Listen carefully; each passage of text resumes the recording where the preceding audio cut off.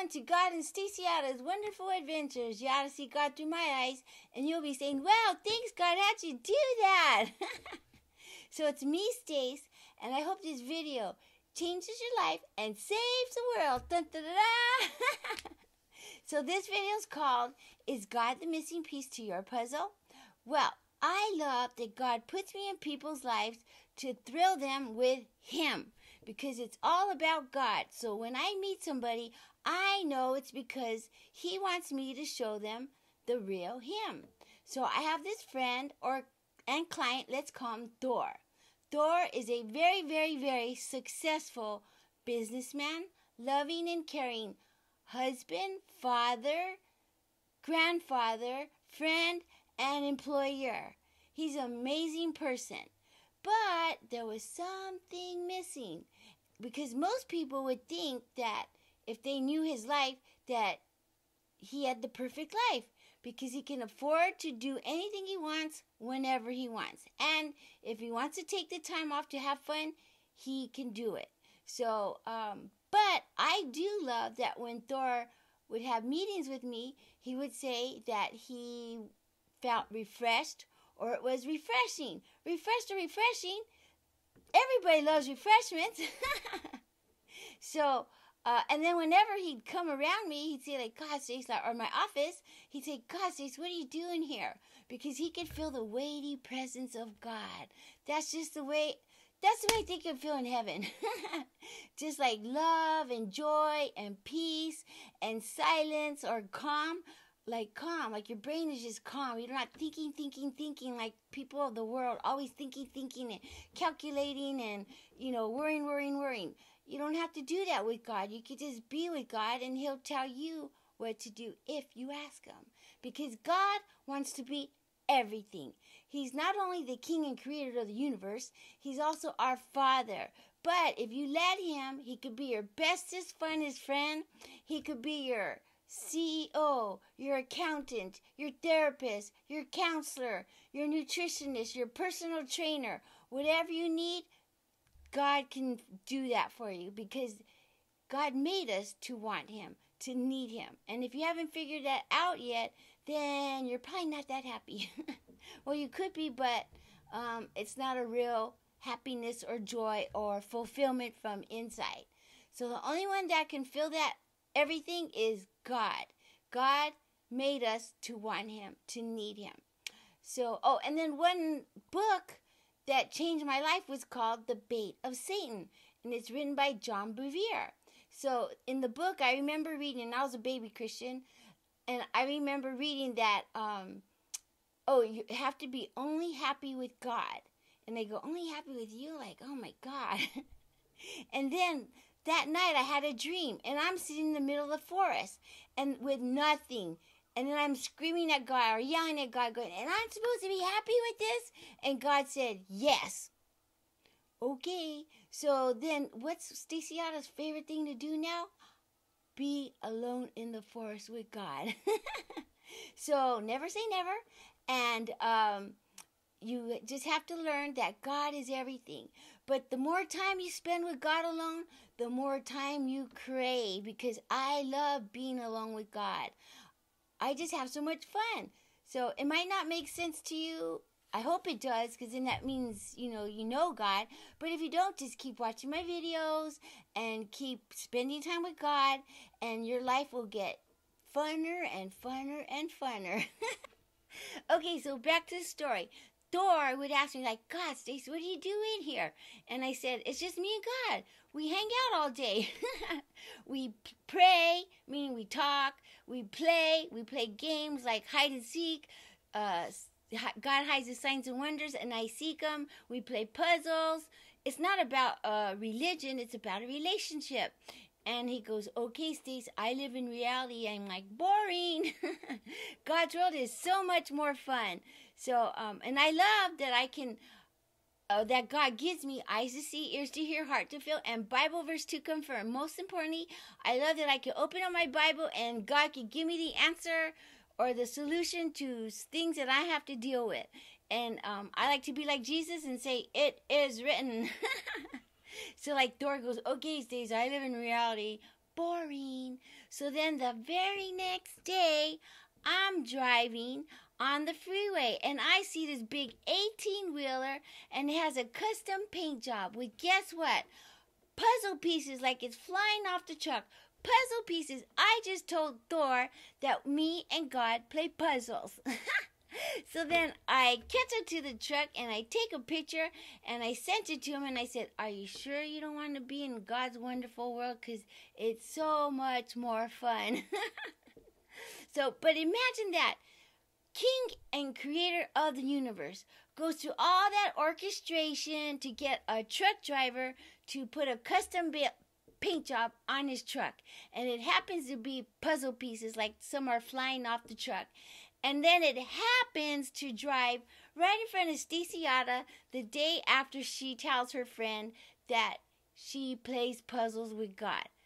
That's amazing. I'm just so thrilled by that. So, and it gets even better because I started making food for Thor. Not only is he a businessman and, you know, family man, he's also an amazing athlete. And he was going to do this crazy race.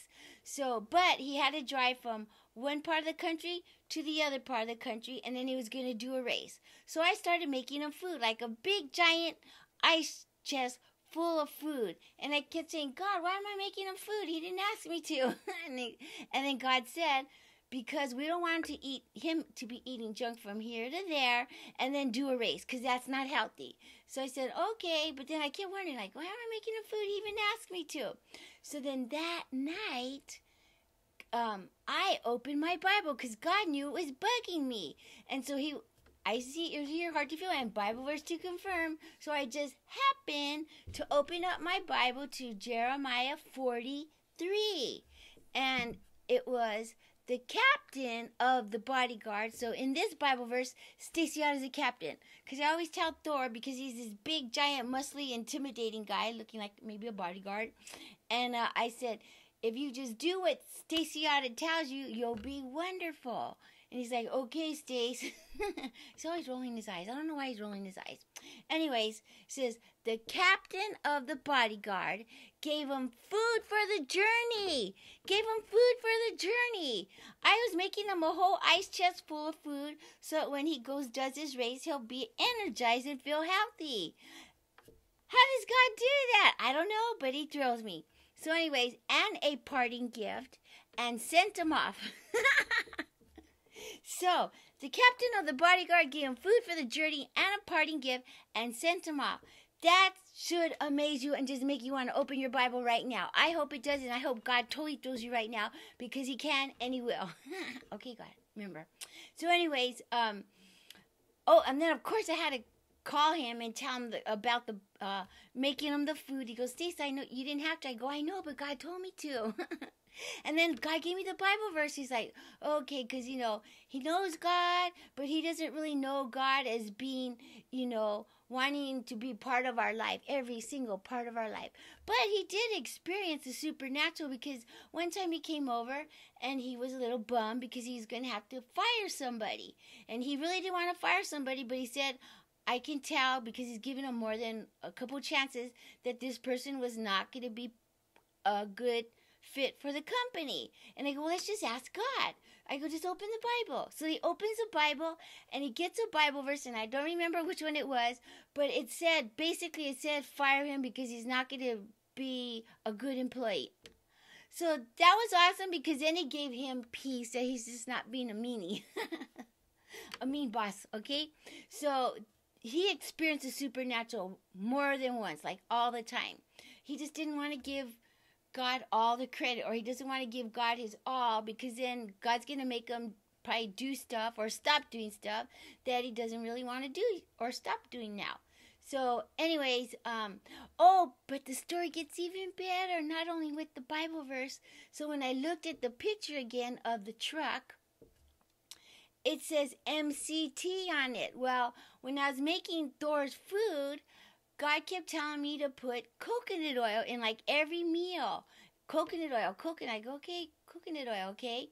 Because I know it's good for you and good for athletes, But you know, a lot of people don't know that, or it's just yummy anyway. But then God gave me confirmation, positive affirmation with the truck. So that's a double blessing, double message because it said MCT and MCT oil is coconut oil. So I love that God tells me what to feed other people because I know it's going to help them get healthy. and if you look right here, right here, that if you could bottle me, that's Stacy in a jar because they say you are what you eat, and this is what I eat: rainbow vegetables every day. I don't go without it because at first God made me, and I was like, "Oh, you're so mean," but now I love it, and I can't go a day without eating my rainbow vegetables. But I do eat a small portion of organic meat. Everything's all organic too. So, um, now where was I? Ah! oh, duh, that's me, Stacey Yada. Now back to the story. Okay, so then Thor comes over to pick up the food. And when he comes over, he's like, God, Stace, what are you doing here? Because he could just feel the presence of God. I go, it's just that's how it feels. This is just me and God. This is how it feels when you have God around you all the time and you want Him around you. And he's like, okay. So then, um, he he leaves and oh and he goes stace you didn't have to uh, make this for me i go i know but god told me and i love it because he gave me the bible verse that's what thrills me the most i don't know how god does that makes the bible come alive so then he leaves and after he leaves i told him hey, God, what's the parting gift we give him? Because remember, the Bible verse said, and sent him off with a parting gift. And then I go, so what's the parting gift we gave him? And then God said, love. And then I thought I was being conceited. and then later on, I asked him, hey, God, what's the parting gift we gave him? He goes, we gave him love. And I go, okay. So the next day, Thor calls me and he's like, Stace. I go, what? He goes, what did you do to me at your house? I go, what? He goes, I still feel good. That was a miracle. Right there, that was a miracle. because Thor is usually, you know, working, working, working, thinking, thinking, thinking, stressing because he has to take care of all kinds of people. But when God, when you take care of a lot of people, especially when you take good care of people, then God puts other people in your life to help take care of you because you can't do everything for yourself. God made us to need other people and especially to need Him. So if you really, really feel like you're stressed out, the best thing to do is go spend some time alone with God with worship music. And thank God they have good worship music, not just churchy hymns. There's all kinds of good worship music. Um, listening to a good teaching or preaching, reading your Bible, or reading a book written by a, somebody uh, that's Holy Spirit led, a Christian. Um, walking out in nature, just listening to the wind, enjoying the wind and the leaves, and not thinking about your to do list. Because God could tell you what to do later on, but just spend time with Him, talking to Him, journaling. Oh, I love journaling. Talking about journaling. Anyway, so I journal and I do this because I'm typing on my my laptop, and because I don't like to write.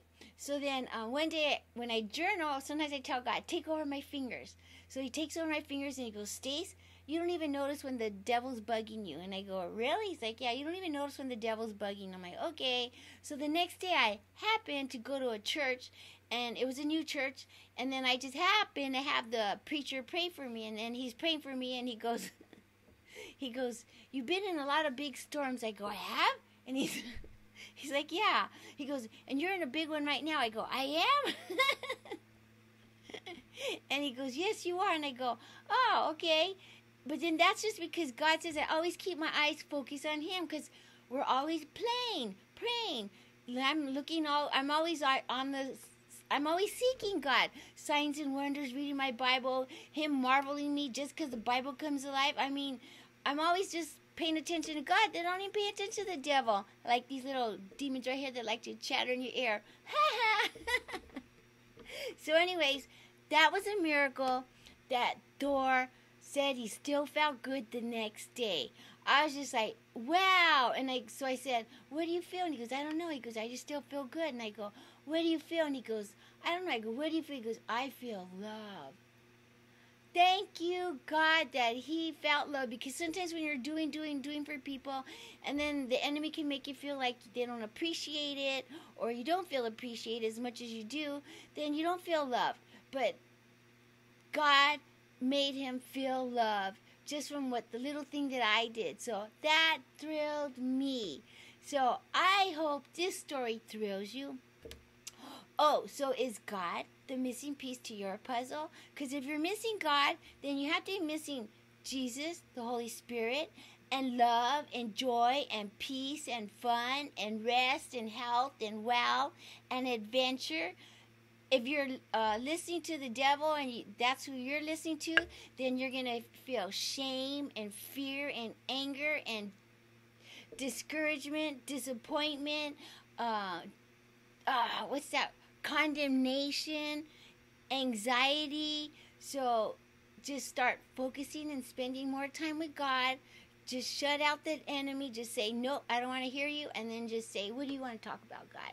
Or what do you want to do, God? That's the best way to live your life. What do you want to do, God? Even when He makes you do something that you don't want to do, it's always to bless you with something better, with Him or His blessings, because He wants to bless us so we could be a blessing.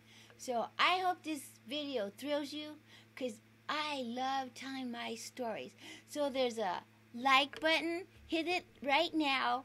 Hit the share button right now because I know there's people out there in your life that are all like, "Oh, woe is me," or or just sad and you know need God in their life, and and fun, and um and get rid of the worry, and hit the subscribe button so you can hear my other stories because I have so many more adventures. And if you want to hit the donate button and donate to me, I would love it because I love sharing my stories. I want to just keep doing this over and over and over so you just get so much of God that you don't even know that the devil's bugging you. so I pray that God blesses you with more of Him, more time for Him, and I pray that He just thrills you. And if He's not thrilling you, then contact me and I'll have Him thrill you. so I hope you have a supernaturally wonderful day. Bye.